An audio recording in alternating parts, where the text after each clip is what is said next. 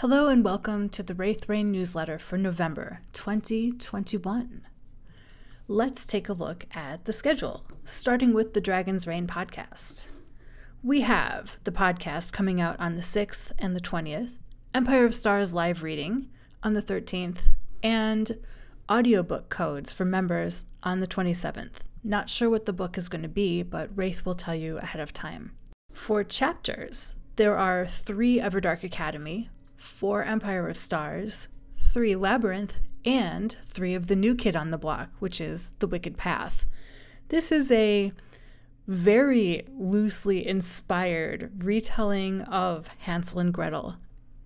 As requested by the members a long time ago, we put out a poll that said, What do you think the best fairy tale retelling would be? as given the Raythe Reign treatment. And to our surprise, Hansel and Gretel was a runaway favorite. We were like, what the what? But then Raythe was like, oh yeah, I can make this work. That's right, you're getting twincest. So we're pretty excited about that, and we'll have some fun hype materials coming out later this month. So for books and audiobooks, there's no real news on the audio. Um, I've been kind of out of the Amazon loop. Raythe just tells tells me, "Hey, Kat, guess what? The audio is live for Cinders and Ashes." And I go, "Great!" And I send out an email. So I think at this point we're kind of waiting for Audible to approve the audiobooks, which can take a while. I don't know why, but it does. It's very opaque behind the scenes at Audible, but it is what it is. As for Cinders and Ashes 5, that is being written.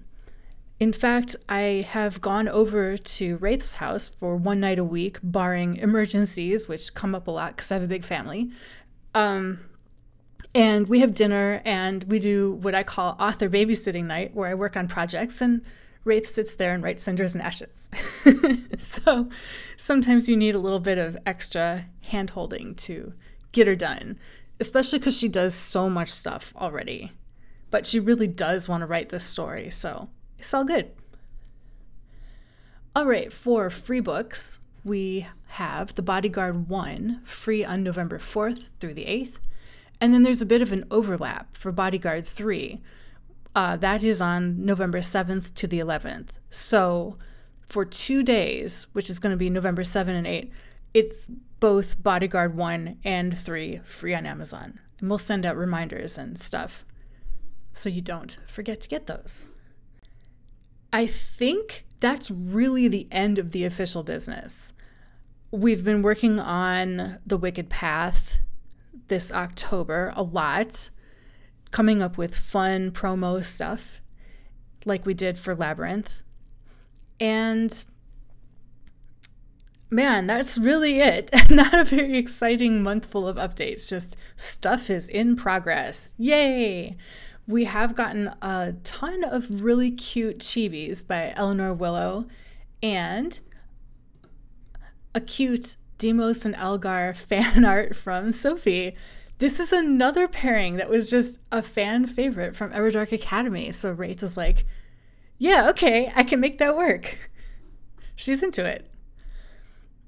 And that's the news hopefully we will have more exciting updates for December, but yeah, some months are like that.